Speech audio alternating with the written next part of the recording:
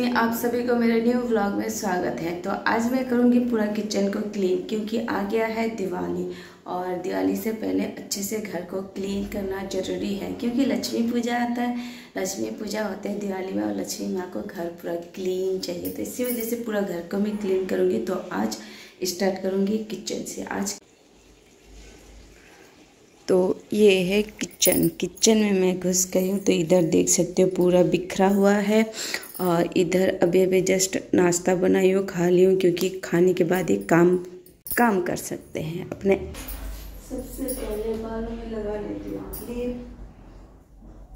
और सबसे पहले मैं, मुझे ये स्टैंड को बाहर निकालना है। एक एक करके खाली करूँगी, झोला को बाहर निकालना है।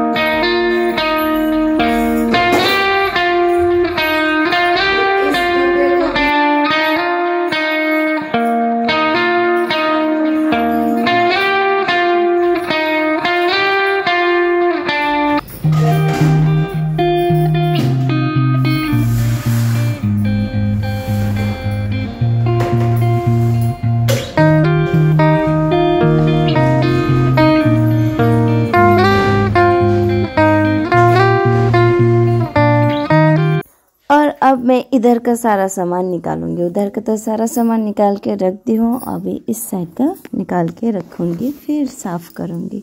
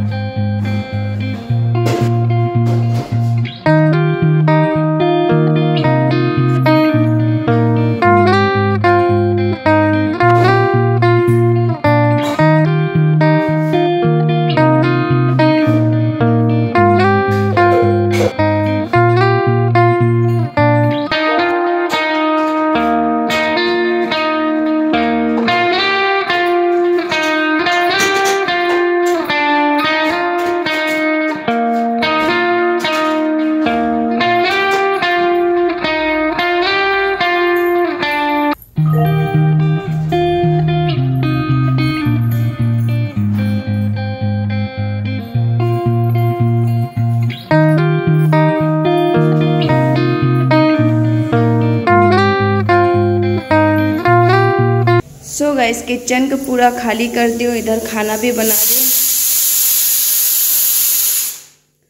चावल हो गया है और अब बनाना है सब्ज़ी। तो पर्दा इसलिए लगाया ना कि धूप का जो रोशनी है ना, बहुत तेज आ रहा था।